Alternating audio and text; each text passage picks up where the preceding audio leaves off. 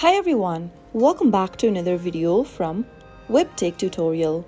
In today's video, I'm going to be showing you how to change language on ReelShort application. So let's dive in straight into the video. First of all, Go ahead and launch open your ReelShort application from your app drawer. Also make sure that you're logged into your account. Once you're inside the main homepage, go ahead and tap on the profile icon at the bottom right hand corner. You'll then be able to see these options. Select the language option and tap on it. Now, you will be able to find the list of languages you can select from.